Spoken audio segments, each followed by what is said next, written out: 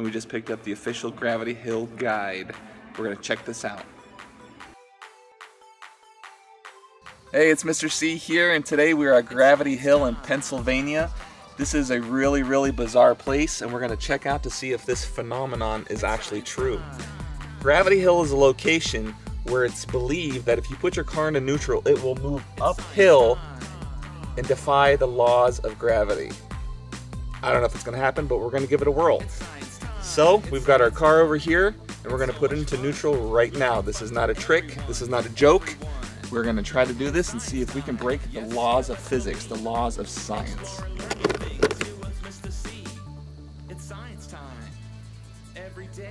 Unbelievable. The car is moving uphill. This is crazy.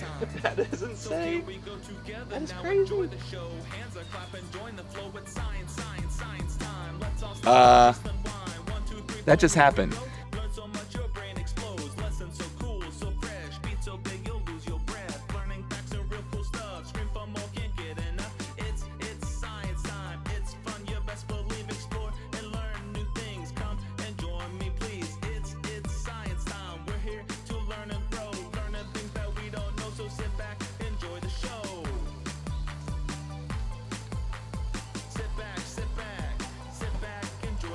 Make sure you wave.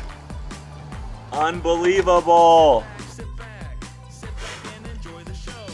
This is a big hill.